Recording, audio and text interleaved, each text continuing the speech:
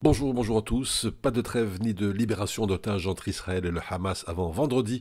Information dans le devoir, l'écho encore 20 minutes. Le chef du Conseil de la sécurité israélien a déclaré que la libération des otages n'interviendra pas avant vendredi et que les négociations se poursuivent sans cesse. Tout cela alors que dans le journal Le Monde, l'ONU salue l'accord qui prévoit la libération d'otages mais avertit que beaucoup reste à faire. La possibilité d'une trêve de 4 jours ouverte par l'accord conclu entre les deux parties pour libérer les otages ne suffira pas pour faire entrer l'aide humanitaire requise dans la bande de Gaza, c'est ce qu'ont estimé plusieurs ONG dont Amnesty International qui appelle à un cessez-le-feu. La bande de Gaza est aujourd'hui l'endroit le plus dangereux au monde pour un enfant, dénonce devant le Conseil de sécurité de l'ONU la patronne de l'UNICEF qui juge que des pauses humanitaires ne sont pas suffisantes pour arrêter ce carnage, reprend la Libre Internationale.